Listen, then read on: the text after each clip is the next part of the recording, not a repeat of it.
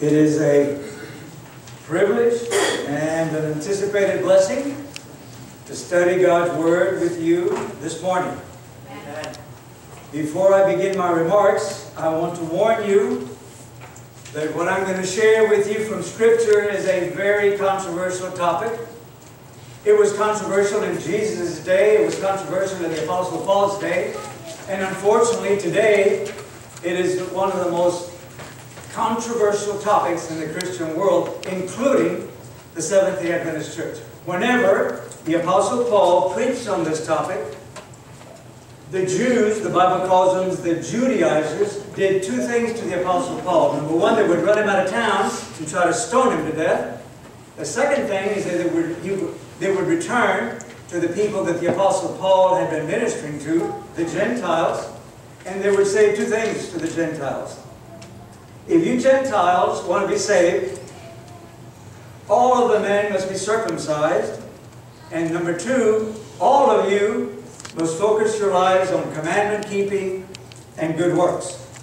Whenever the Apostle Paul preached on this topic, this is the response that he faced from some of the most knowledgeable people in the Scriptures, the Jews.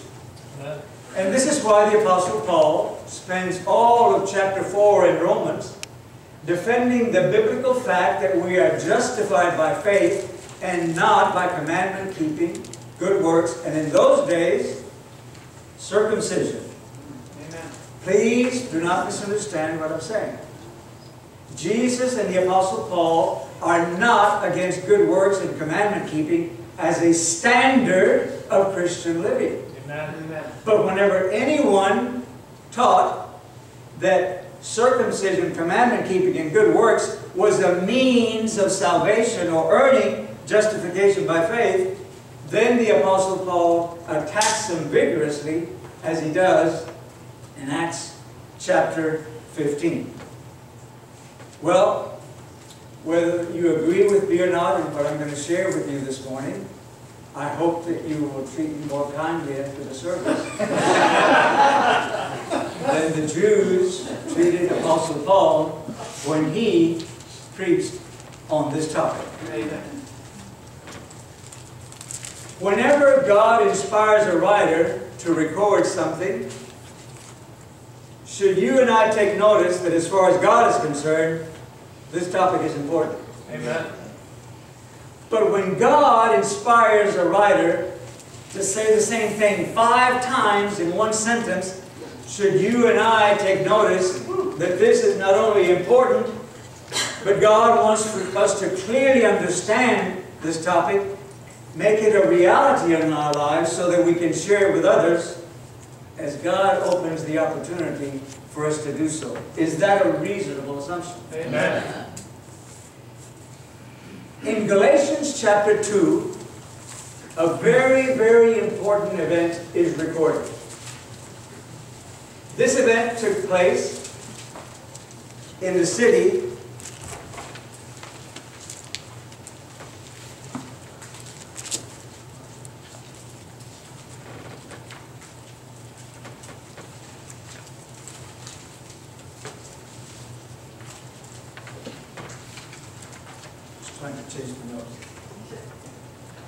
This took place in the city of Antioch. Antioch is about 310 miles north of Jerusalem.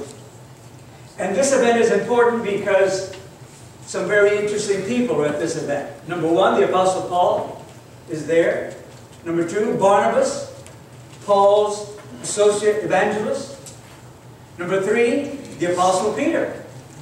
In addition to these three important individuals, there's a gathering of converted Jew, uh, Gentiles to Christianity. And then something very interesting happens. Into this gathering walks a few men sent from Jerusalem by James, Jesus' half-brother. At that time, he would be called the president of the General Conference. And the moment that Peter and Barnabas notice these leaders from Jerusalem walk into the room, Peter and Barnabas remove themselves physically from associating with the converted Gentiles to Christianity. And Paul doesn't understand what's happening, but then the Holy Spirit illumines Paul's mind to recognize what, why this is happening. So, I want for you to turn to Galatians chapter 2, and I'm going to read one verse to you, which is the Apostle Paul's response to the Apostle Peter. And I want for you to participate with me by counting with the fingers of one hand how many times the Apostle Paul says the same thing in the positive, and how many times he says the same thing in the negative. Galatians chapter 2, verse 16. Nevertheless, knowing that a man is not justified by the works of the law, but through faith in Christ Jesus, even we have believed in Christ Jesus, that we may be justified by faith in Christ, and not by the works of the law, since by the works of the law no flesh shall be justified. How many times does the Apostle Paul say the same thing in the positive? How many times does he say the same thing in the negative? Three times. Justification by faith, however, is not a theory. Justification by faith brings three blessings. In other words, justification by faith bears fruit. And it bears fruit in a very specific order. And that's what I want to focus our attention on this morning. So, if you forget everything that I say this morning, I won't be offended. All I want for you to remember is three words. The first word is now. The second word is continuously. And the third word is ultimately. What's the first word? Now. Second word? Continuously. Third word? Ultimately. You're a terrific class.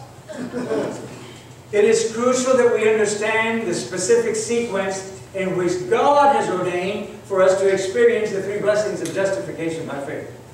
Because if we mix that order up, we end up with a condition that a friend of mine calls spiritual constipation.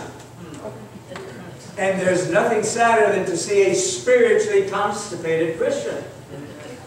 They have no peace, no joy, or assurance of salvation. And the only biblical solution for this dilemma is to understand the specific order in which we experience these three blessings so that they will become a reality in our lives. Where does the Bible teach the three blessings of justification by faith and the specific order in which we experience them? As I mentioned earlier, Paul, in chapter 4 of Romans, defends the biblical truth that we are justified by faith and not by works. Now in chapter 5, Paul summarizes everything that he said in chapter 4. So I want for you to turn from Galatians chapter 2 to the left to Romans chapter 5. Romans chapter 5, beginning with verse 1. When you're there, say ready, and I'll begin reading. Ready. ready. Romans chapter 5, verse 1. Therefore, that's a summarizing word. He's going to summarize everything that he said in chapter 4 of Romans.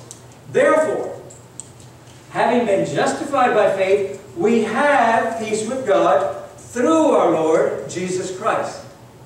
What tense is having been? Past, present, or future? Past. Past. We have peace with God. What tense is we have peace with God? Present. What's the first word I ask you to remember? Now. The moment that you accept Christ as your Savior, you experience the first blessing of justification by faith.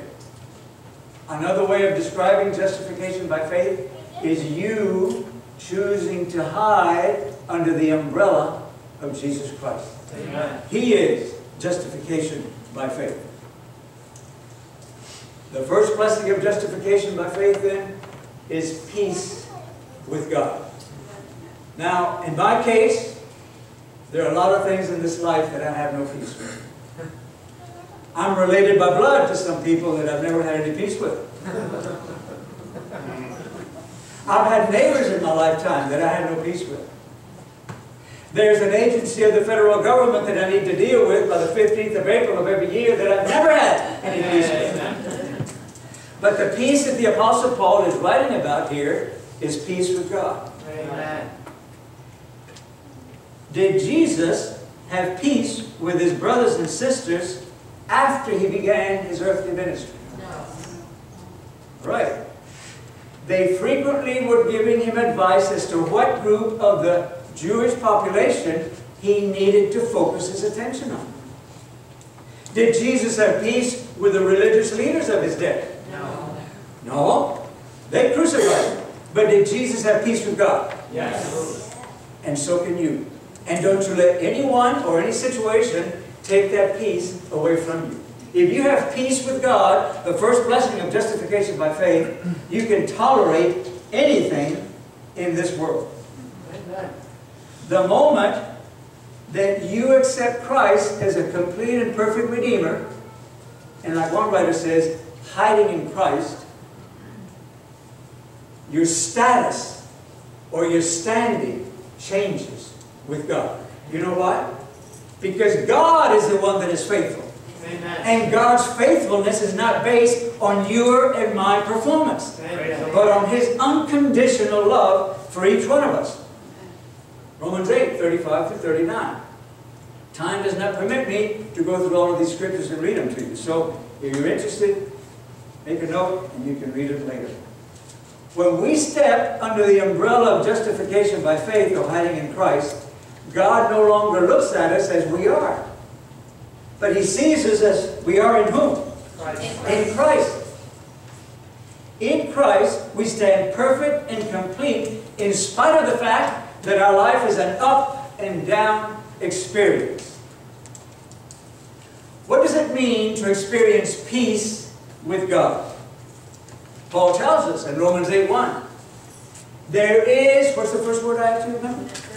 There is now no condemnation for those that are In Christ. in Christ Jesus. There's no condemnation not because we're good, Yes. but because in Christ the law was fully established. Amen. Jesus himself tells us in John 5:24, and I'm paraphrasing for you. John 5:24.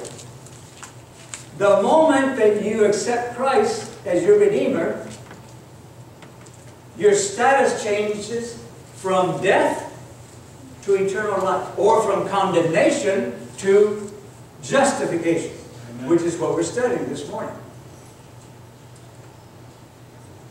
Do you know what the word peace means in the original language in which the New Testament was written, the Greek language? It means set at one again with God. Set at one again. United again. Do you know how the word peace is spelled in the Greek language? E I R E N E. Pronounced Irene. Some parents name their daughters Irene. It is a sad experience when you see Christians, especially Seventh day Adventists, that are not experiencing the first blessing of justification by faith. The reason is because these people are focused on blessing number three, the glory of God, in order to experience blessing number one. God has not ordained it that way. It is impossible to experience the third blessing of justification by faith before first having experienced the first blessing, which is peace with God. So, what is our source? What is the source of our peace? The last part of verse 1 says, through our Lord Jesus Christ. Through His doing. Through His dying. So, let's see how well we have understood what we've covered so far.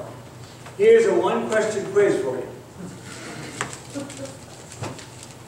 Does God begin your relationship with Him by making you perfect in performance and then and only then declaring you righteous? Or does God begin your relationship with Him by giving you His peace declaring you righteous, and then as you learn to abide in Him, He makes you perfect in performance. Amen. The answer is found in Genesis 15, 5 and 6. In Genesis 15, 5 and 6, God is giving a vision to Abram. This vision happens at night. And God asks Abram, I want for you to leave your tent and go outside and look at the sky, and I want for you to count how many stars are up there. Because I want to visually demonstrate to you how large a family I'm going to bless you, 83-year-old man, and your 73-year-old wife with. What did Abram say? I believe you. What did God say? I declare you righteous. Amen. Did that make Abram righteous in performance from then on? According to Genesis 20, verses 2 through 9, we find Abram and all of his family and possessions sojourning in the land of King Abimelech. And now, Abram has what I call a spiritual hiccup. And he says to his wife, if King Abimelech finds out that you and I are married, he's going to kill me and take you as his wife. So I want for you to say to everyone that we are brothers and sisters. What kind of a chaos did that create? Horrible. God does not begin our relationship with Him by making us perfect and then declaring us righteous. He begins our relationship with Him by giving us His peace. Again, as we learn to abide in Christ or hide in Christ, then He makes us perfect in performance. And until you and I are experiencing the first blessing of justification by faith, which is peace with God, you and I are kidding ourselves that we are God's commandment-keeping people. Because every scripture in the Bible, the New Testament specifically, that talks about commandment-keeping and good works is set in the context of peace. What is the opposite, of peace? Fear.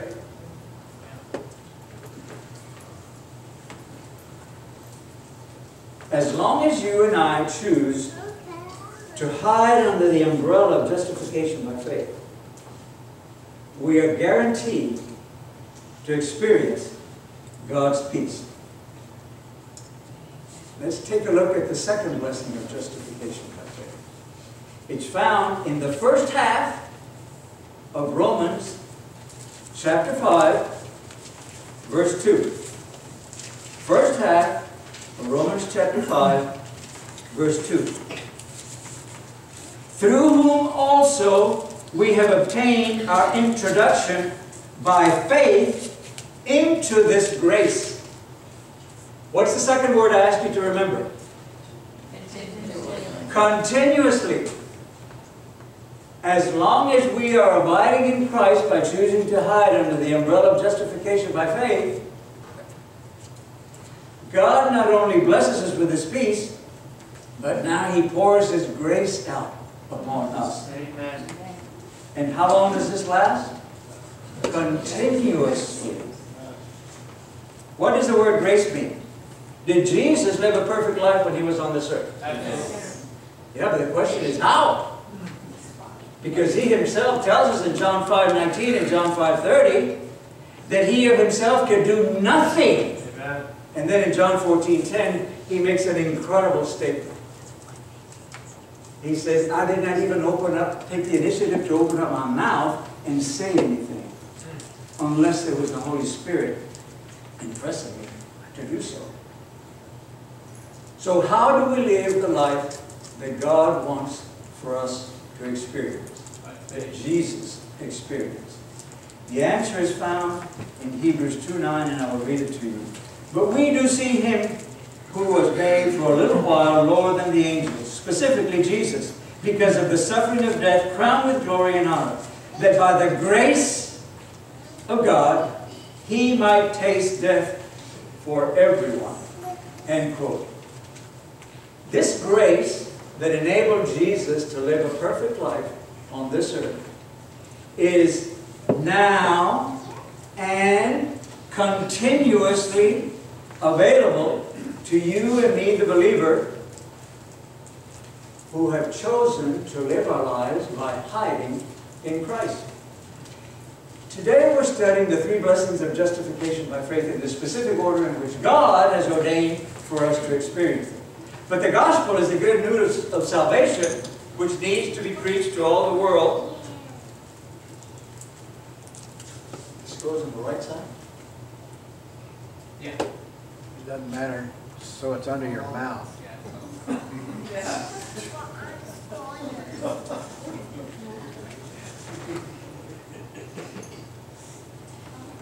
Here we go.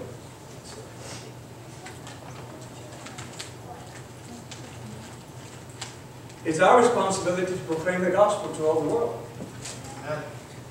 But the only people that can proclaim the gospel and experience the three blessings of justification by faith are the believers. So if there's anyone here that has not accepted Christ as their Redeemer and has not been baptized, at this point in time, you're not able to experience the three blessings of justification by faith. Not because I say so, but because Jesus says so in Mark 16, the last chapter in Mark, Mark 16, verses 15 and 16. I will read it to you. Jesus says to his disciples, Go into all the world and preach the gospel to all creation. 16. He who has believed and been baptized shall be saved, but he who has not believed shall be condemned.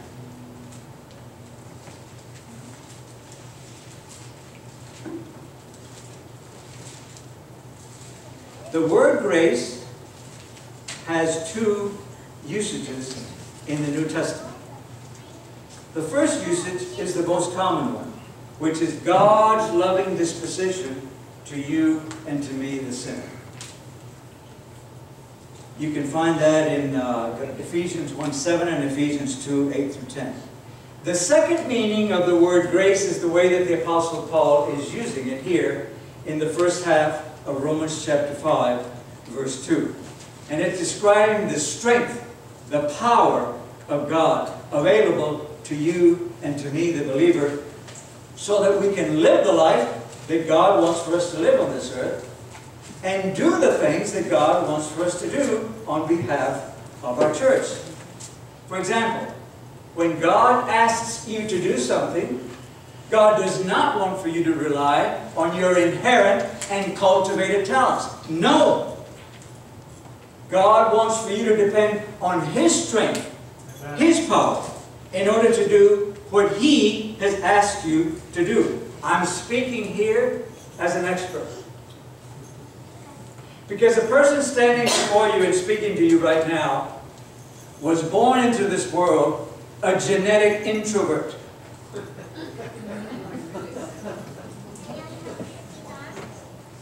And I don't mind saying to you that I have never volunteered to read scripture in front of anybody, or offer prayer, or teach a Sabbath school class, much less preach a sermon.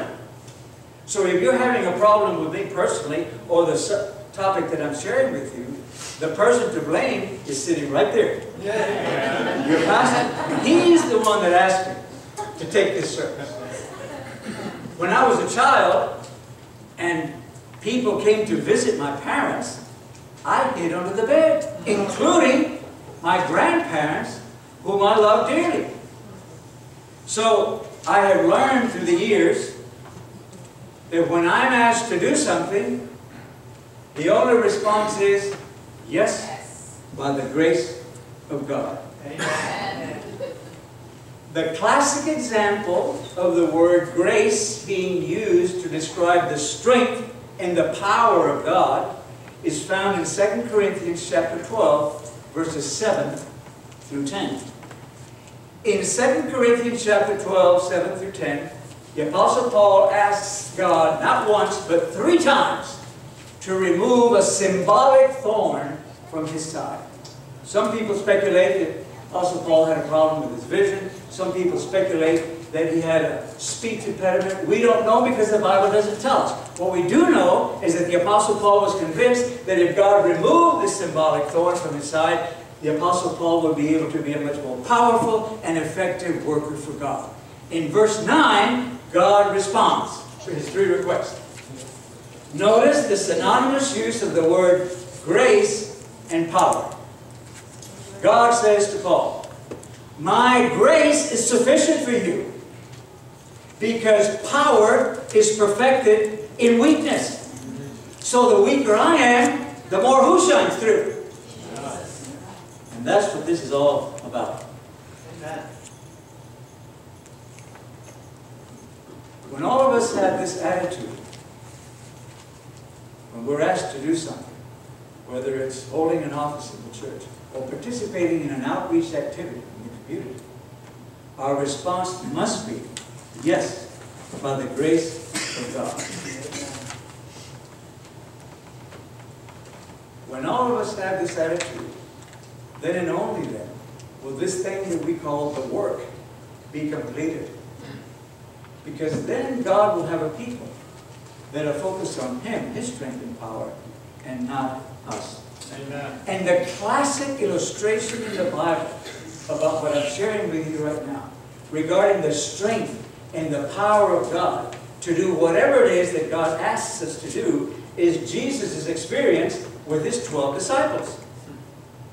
Jesus trained 12 men to prepare them to take over the work when He left for approximately three, three and a half years. What does a teacher do when a class completes their course? He has a graduation service. The Bible calls it the Last Supper. We call it the communion service. But as Jesus is beginning the activities of the Last Supper, he recognizes that there's a major problem. And the problem is that his class of 12 is arguing among themselves as to who is going to be the greatest in a kingdom which they still perceived as being an earthly kingdom. So, Jesus is forced to change his plans. And he gives one student an F minus. And the other 11, he gives them an incomplete. But 50 days after the ascension of Jesus, we have these 11 men now focused on experiencing the strength and the power of God which was poured out on them on the day of Pentecost. Amen. And now that they're focused on the strength and power of God, what kind of results did they did the Holy Spirit produce in their lives? Acts 17, verse 6 says, These 11 men turned the world upside down. Amen.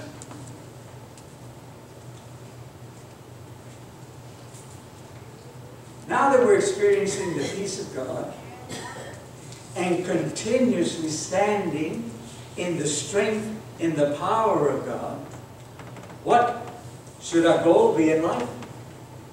The second half of verse 2 of Romans 5 of our scripture. Let me read it to you. We exult in the hope of arriving, what's the third word I asked you to remember? Ultimately at the glory of God. The third blessing of justification by faith. Some people think that the glory of God is when Jesus comes back the second time and this corruption puts on incorruption and this mortal puts on immortality. That will be a wonderful day. Amen. But here we have another word in the Greek language that has more than one meaning. The Apostle Paul is using the word glory here in the second half of Romans 5 2, the same way that the Apostle John used it in John 1 14. A passage that all of you will recognize the moment that I start quoting it to you. And the Word was made flesh and dwelt among us, and we beheld His what? Glory. Glory. Again, glory as of the only begotten of the Father, full of grace and truth.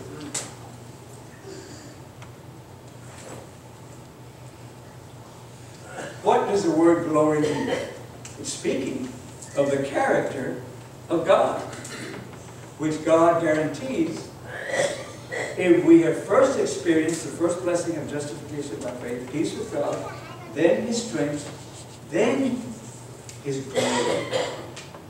What is the character of God?